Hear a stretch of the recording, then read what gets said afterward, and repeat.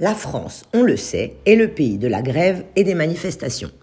Aujourd'hui d'ailleurs est une journée noire dans les transports, les écoles et autres manifestations prévues sur l'ensemble du territoire. À regarder de près l'histoire tumultueuse de la grève depuis au moins une centaine d'années, il est difficile d'en donner une définition. La place de grève à Paris, autrefois un lieu d'offre d'emploi, a donné aujourd'hui son nom à ce droit. Le droit de grève est un droit reconnu à tous les salariés par la Constitution. Et si son principe n'est pas contesté, l'exercice de ce droit est cependant soumis à certaines règles. En France, tout salarié a le droit de cesser le travail pour manifester un désaccord ou obtenir la satisfaction de revendications d'ordre professionnel, comme l'amélioration des conditions de travail ou du salaire. Ce droit de grève est reconnu et garanti par la Constitution à tout salarié, dans le secteur privé comme dans la fonction publique, à quelques exceptions près. Jusqu'au XIXe siècle, la grève était interdite et constituait même un délit pénalement sanctionné. Il a fallu attendre le 25 mai 1864 pour que le délit de coalition soit abrogé et pour que le droit de grève soit instauré par la loi Olivier. Mais selon cette loi, la grève constituait toujours une rupture du contrat de travail et pouvait justifier un licenciement du salarié gréviste ou même une intervention forcée de l'armée.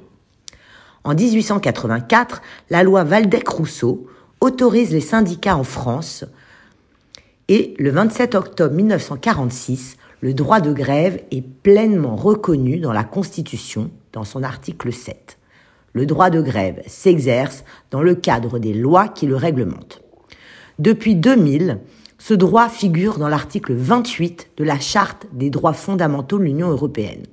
Certaines catégories en demeurent cependant exclues, comme les personnels de service de la police nationale, ou encore les CRS, les magistrats ou le ministère de l'Intérieur. Dans d'autres cas, un service minimum doit être mis en place comme pour la fonction publique hospitalière ou encore les écoles maternelles et élémentaires. Il est difficile d'évaluer avec certitude les dommages et dire combien coûtent à la France ces multiples grèves. À titre d'exemple, en 2014, la grève d'Air France a coûté 300 millions d'euros. Alors quelles sont les conséquences sur le salaire? Le salarié gréviste subit une diminution de sa rémunération exactement proportionnelle à la durée de la grève. Toutefois, la grève peut entraîner la réduction importante, voire la suppression de primes liées à une condition de présence du salarié. Et qu'en est-il en Israël? Il faut savoir que le droit israélien repose sur la séparation des pouvoirs et un système judiciaire indépendant. Et Israël consacre également le droit de grève et de manifestation depuis 1957.